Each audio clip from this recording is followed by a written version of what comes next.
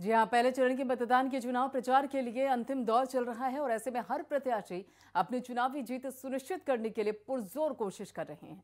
और इसी क्रम में गठबंधन की तरफ़ से मेरठ हापुड़ लोकसभा के प्रत्याशी के रूप में मैदान में उतरे हाजी याकूब कुरैशी ने मेरठ के सूरजकुंड इलाके में एक विशाल जनसभा को संबोधित किया। और इस दौरान उन्होंने स्वच्छ भारत अभियान के नायक यानी कि स्वच्छता कर्मियों से जीत होने पर कई सौगातें देने का वादा किया।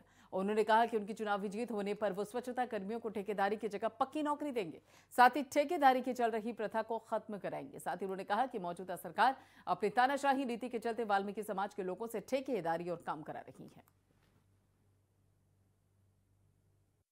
पक्की नौकरियाँ कराऊँगा और ये ठेकेदारी खत्म कराऊँगा।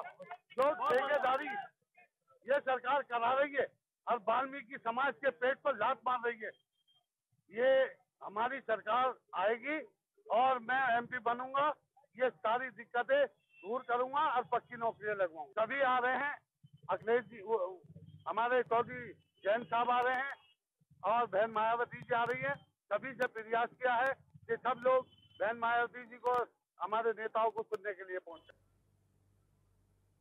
चलिए फ़िलहाल इस बुलेटिन में इतना ही बाकी खबरों के लिए आप देखते रहिए इंडिया वॉइस।